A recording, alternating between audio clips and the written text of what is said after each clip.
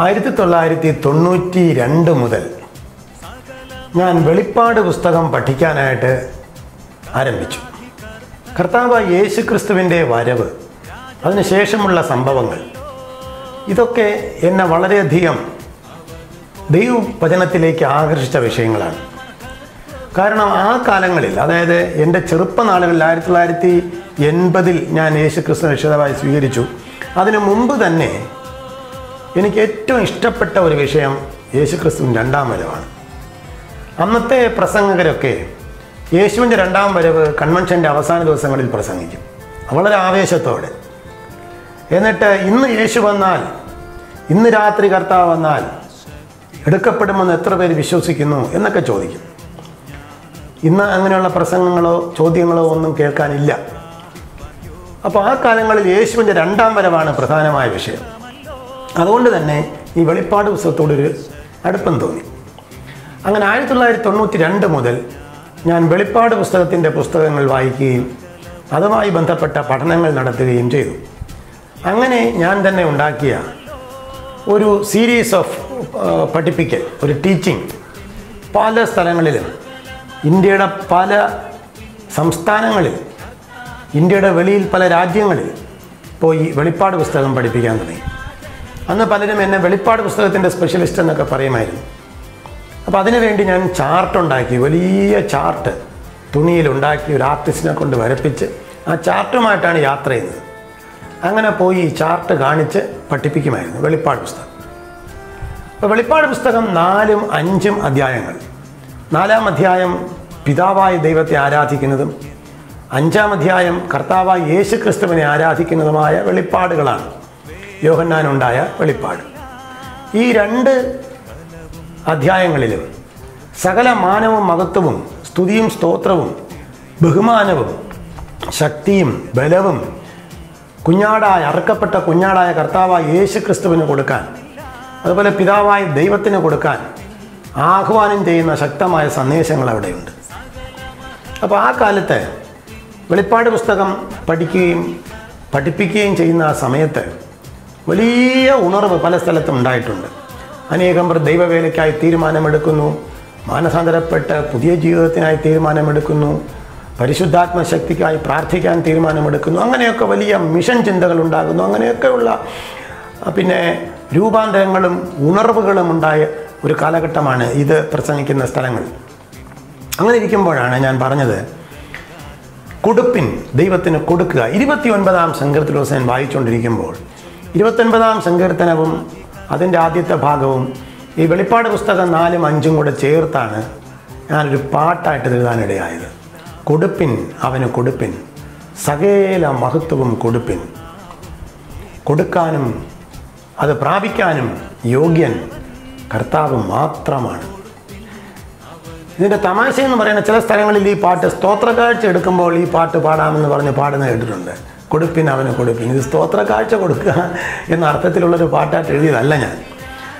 കാരണം ശക്തിയും ബലവും ബഹുമാനവും മഹത്വവും സ്തുതിയും സ്തോത്രവും സകലവും പ്രാപിക്കാൻ യേശു മാത്രം യോഗ്യൻ. പിതാവായ ദൈവം യോഗ്യൻ പിന്നെ യേശു മാത്രം യോഗ്യൻ എന്ന് പറയുന്ന ദൈവവചന അടിസ്ഥാനത്തിലാണ് ഞാൻ ഈ പാട്ട് എഴുതിയത്. അദ്ദേഹത്തിന്റെ പഠിപ്പിക്കലുകളുമായി ഞാൻ യാത്ര ചെയ്തു. ചുരുക്കി പറഞ്ഞാൽ ഈ പാട്ട് എഴുതാൻ കാരണം വെളിപ്പാട് പുസ്തകത്തിന്റെ പഠനമാണ്.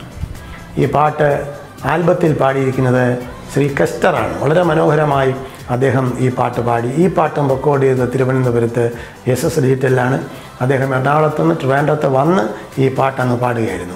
വളരെ ആസ്വദിച്ച് അദ്ദേഹം ഈ പാട്ട് പാടിയാന്ന് എനിക്കിപ്പോഴും അത് ഓർമ്മയുണ്ട്.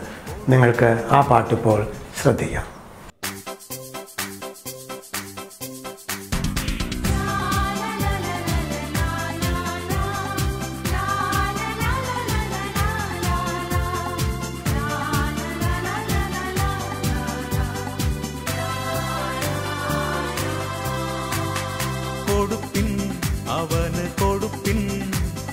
സകല മഹത്വവും കൊടുപ്പിൻ കർത്താധികർത്തനവൻ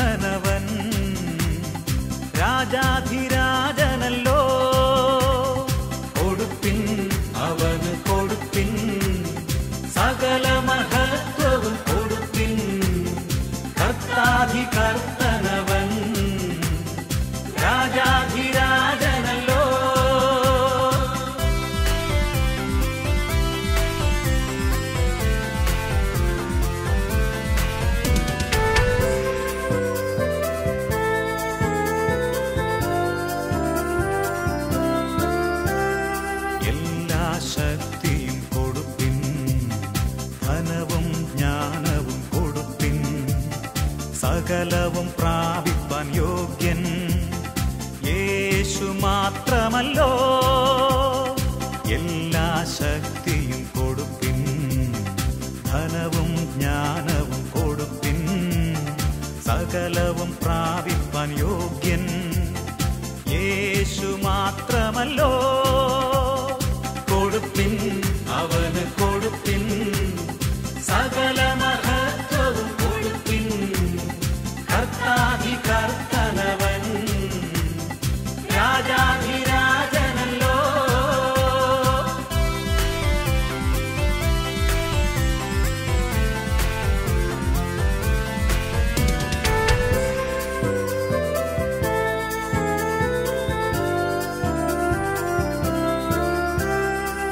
ബലവും മഹത്വവും കൊടുപ്പിൻ ബഹുമാനത്തിന് യോഗ്യൻ. സ്വർഗത്തിലും ഭൂമിയിലും വേറൊരു നാമമില്ല. ബലവും മഹത്വവും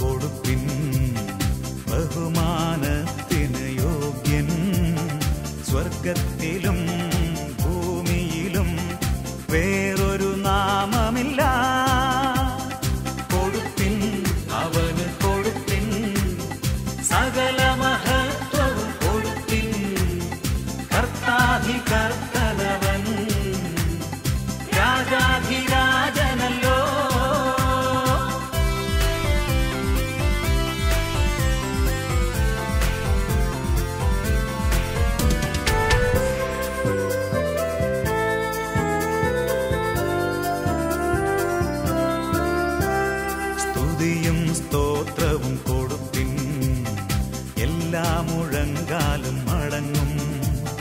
എല്ലാ നാവും ഏറ്റു ചൊല്ലും കർത്താധി കർത്തനവൻ.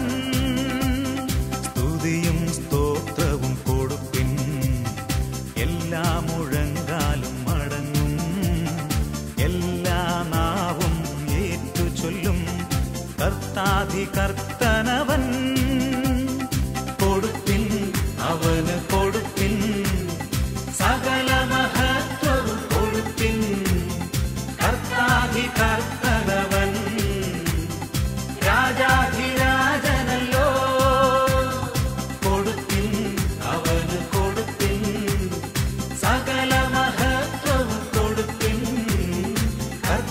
picar